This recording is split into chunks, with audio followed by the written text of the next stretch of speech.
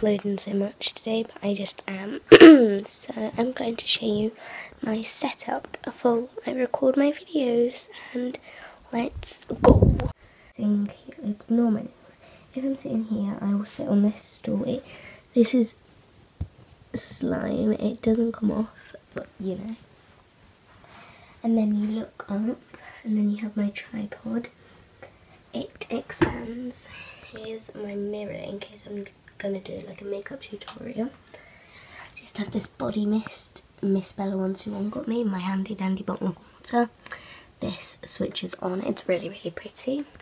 And then I have this light, I've had it for quite a while now, probably a couple of years, maybe three.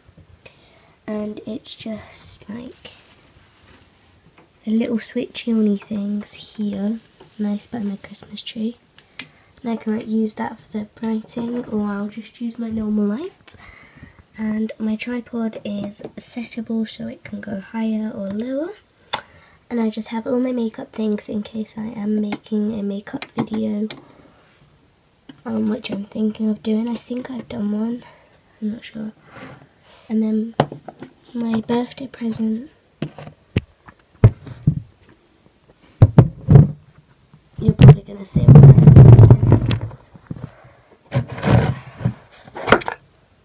tripod, but you know. And I always have my, mainly have my pop socket on for filming. My Tree of Life necklace. My dad got me. Ow.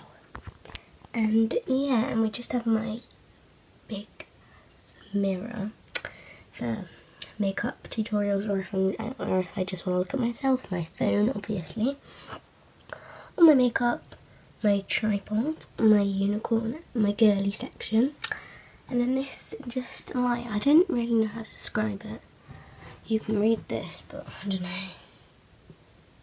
and it is just pink and it's just like you can move it down, you can move it up, you can move it around, so that's good. And we have my my Christmas tree and my bed and the rest of my dirty, dirty room. But you know. So yeah. You enjoyed this little like a desk tour setup. But yes, I hope you enjoyed. Please remember to click like and subscribe and in the comments below tell me if you like my setup or not. And if you want me to do another one of the time lapses cleaning my room, because I really like doing those, so just let me know. How how how about you just shut up, Shannon? And I love you, oi oi people.